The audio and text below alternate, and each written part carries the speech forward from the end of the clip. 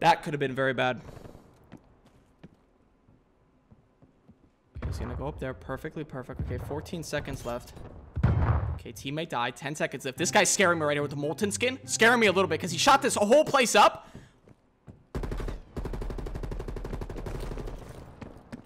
Oh no.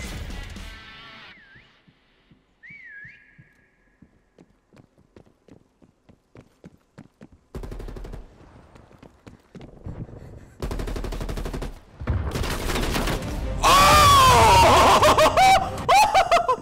It's like that one fucking. Yep, yep, yep, yep, yep. I know, I know, I know. Just, just get it done.